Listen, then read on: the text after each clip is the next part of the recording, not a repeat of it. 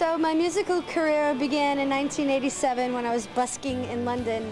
And busking is essentially playing music in the street or the subway uh, for tips. And I was pretty terrible when I first started. And uh, I guess the first song I started on was a John Prine song, Angel from Montgomery.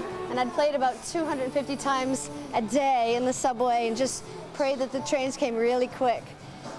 So after London, my busking took me to lots of different cities. Um, I went to Olympia, Washington. I met a girl named Tinuviel that ran a little label called Kill Rock Stars. And I did my first seven inch with them. And then I did an EP and a little recording with a punk band called Bikini Kill and uh, the wonderful Donna Dresch from Team Dresch.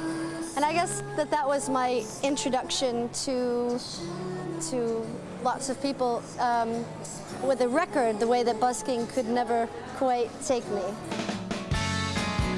Ah, they have my record. Damn, and they have a lot of them too. Wow. So can you guys see this?